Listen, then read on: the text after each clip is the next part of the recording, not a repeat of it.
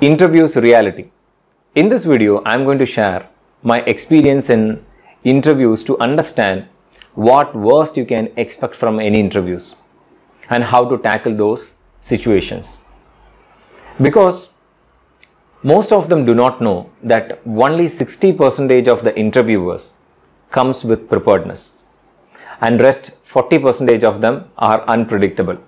So the interview session can go in different way. It can go beyond your expectations or below your expectations.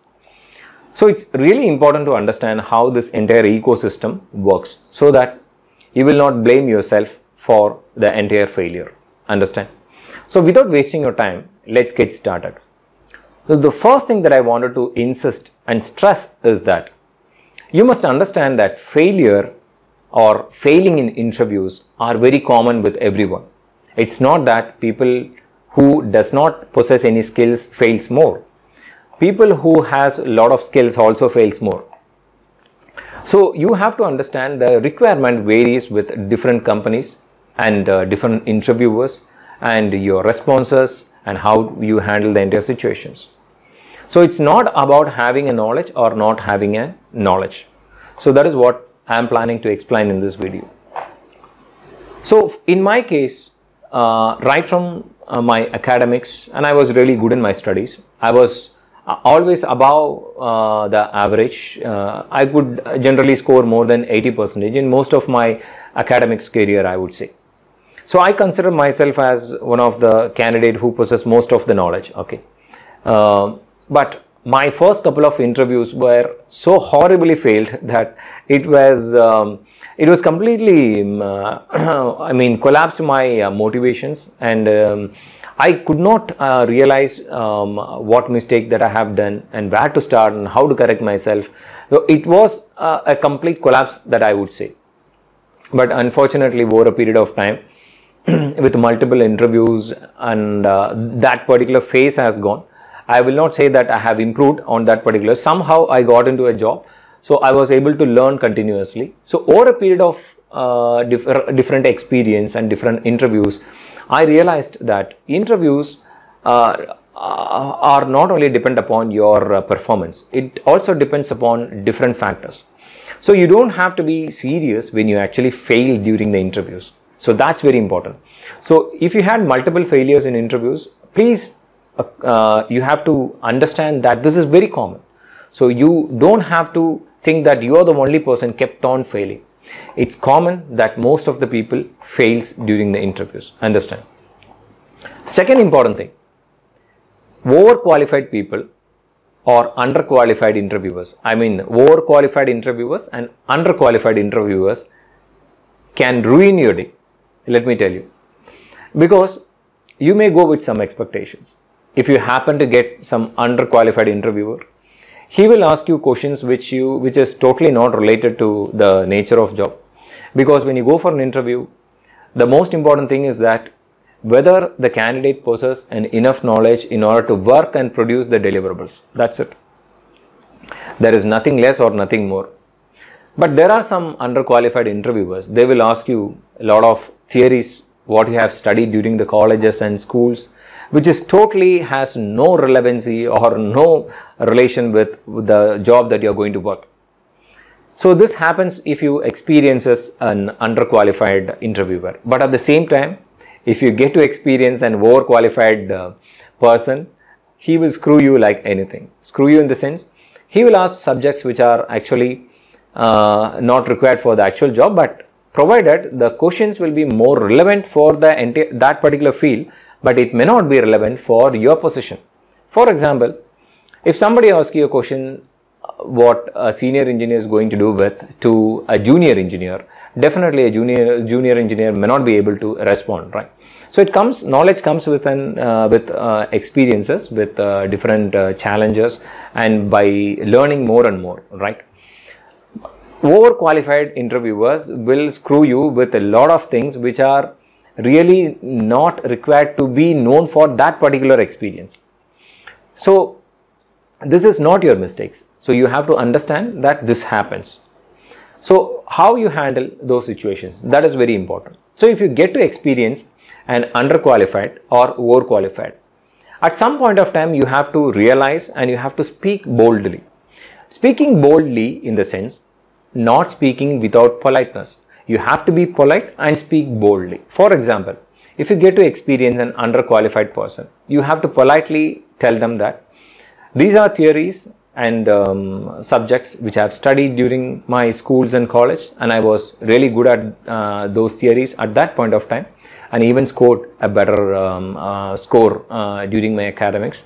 But however, since my concentration is more on to the activities which are related to this particular position which I have applied, so I concentrate more on that. So I kindly request you to ask the questions which are uh, you which were more relevant for this current position. So then I'll be answer uh, better than what your expectation. So that is how you have to handle those uh, questions actually. Unless you boldly speak, you will have to experience such situations. And for people those who are, um, uh, I mean, to deal with an overqualified um, interviewers, you clearly have to tell them that um, from what you have experienced and what you have learned, uh, you are very well aware about uh, those areas. But uh, the things which you have not experienced and believe that these are uh, done by senior engineers and you you will be able to learn over a period of time when you get uh, those experiences and uh, you have to acknowledge that these are areas that I do not know because I am currently working in a different level. So if I get an opportunity, I will definitely improve my knowledge. So likewise, you have to stop them politely and tell them boldly. This is very important. The third point is harassment. Harassment is generally rare in our industry, but there are few interviewers still continue to harass candidates. So you have to expect such situations in the interviews and prepare your mind accordingly so that you will be able to perform better than others. So let me give you an example about it. Say for an example, your college score or your school's scores may be less compared to your knowledge about your work. Maybe you are excellent in your work. You are excellent in the tools that you are working in a particular industry for that particular position. You may be having an excellent knowledge of that particular job you have applied. But the interview, I mean the interviewers kept on saying that your school score and college score is poor so that he don't think that you are fit for this particular role. So which is totally not relevant. And he may ask you about some extracurricular um, uh, i mean uh, knowledges or participation training certifications which you have not possessed. That is totally not relevant to the job. As long as you are aware about what the job is needed and if you are qualified having all the skills and knowledge which, which you can perform for that particular job that is enough but most of the interviewers they will handle the situations very politely but there are some interviewers who will try to harass you by pinpointing your mistakes again and again. So how to handle that situation? Somehow at one point of time you have to stop them. Stop them politely. And you have to tell them that very strongly from whatever experience that you have uh, earned, know that the subject that you are looking after is not required and not required to be questioned even. You have to tell them that and request them ask something which is relevant to the job that you have applied. And if you if he continues to harass you by pinpointing your mistake you can simply walk off from the interview. Because remember you have performed uh, and you got the job. So you happen to work the, with the same person. What will be your life uh, working with him day in and day out. Every day you will have to go through the same kind of harassment. So which may not be healthy for you right from your it will affect your uh, health even physical health and mental health. So if you uh, if you feel that you are harassed during the interview at some point of the interview you have to stop them and politely tell them don't be too harsh and don't be too aggressive that is very important. How to handle the situation very politely it's very important. You may uh, show your anger you may not show your anger. If you show your anger you may lose a good opportunities at times actually. But if you show the politeness actually so you you may be reconsidered. So maybe uh, the interviewer will realize his mistakes and he will change the tone uh, in a different way so that uh, he will focus on to the particular question which is related for that particular job so it's important to boldly speak and say that this is what i experienced you ask only this particular one and you, if you ask anything more than that actually which I have not experienced, you may not be able to answer. Very clearly, you tell them. And the fourth point is, it's our own mistake. Partial preparation. There are interviews that we feel that uh, we are too much confident about the subjects and we go with very partial preparations or we don't do full preparations. Uh, for example, if there are five areas and if you are uh, confident about one particular area, you will skip that one particular area and only focus on the rest of the areas. Okay. So instead of revising the entire subjects actually, you will only go with areas which you do not have confidence. But it's important to revise the subject where you are confident also because there are times that if you go with the partial preparations you will be asked certain questions which you have not prepared. So that is one of the most common experiences with everybody. So after the interview you will literally feel that uh, we should have spent little more time in order to revise the whole things. Okay. So do not ever give that opportunity or miss that chance actually. You have to prepare with 100 percentage requirements. So you have to focus on all your areas. Better take a note of it. So if you're going for any particular interview, go through the job requirements in the interviews and see what are the areas that they are looking after and see your expertise as well. Make sure that you have listed all the notes and keep on ticking each of the requirements by going after, uh, by referring these materials one by one so that you will never miss any particular area and also you will go 100% preparedness. So 100% preparedness is the very important thing because there are interviews which will give you a better pay and um, better work-life balance and um, I mean uh, better colleagues and better knowledge and better platform to learn many other things because interviews are generally considered to be the gateway for opportunity to make your life a little better right so you have to do 100% preparations from my experience, I'm telling you that I really have uh, missed uh, some of the good interviews by doing partial in, uh, preparations. So uh, that has really troubled me. So then I realized that if I had done 100% preparations actually, I would have been able to clear those interviews. So 100% preparation is really important. And the last but not least is you might have performed exceptionally during the interviews.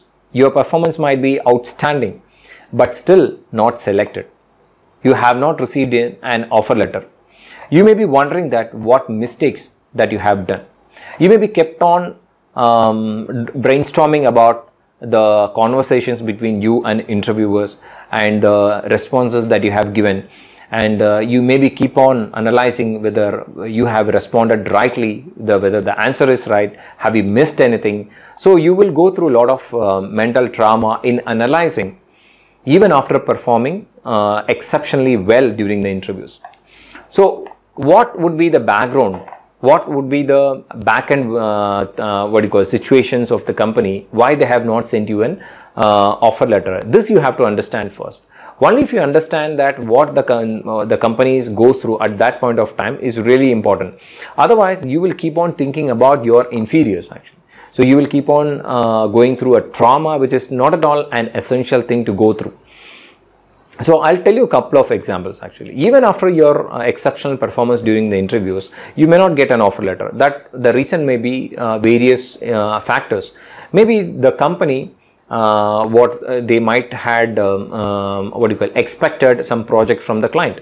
So uh, all of a sudden, maybe after a week or a couple of days, the company would have received a notification from the client that the project has been put on hold. So whoever has been recruited for that project will not have be called. That's very simple right? When the company do not have a project they will not call the people those who are recruited for that particular uh, project. So this is one important area. Second important area is that actually when you are given an interview you have to think that you are not the only person who have given an interview. Generally most of the companies when they uh, recruit a particular uh, i mean uh, goes for an interview they will uh, take at least 10 15 candidates because they don't want to end up with only with one particular guy.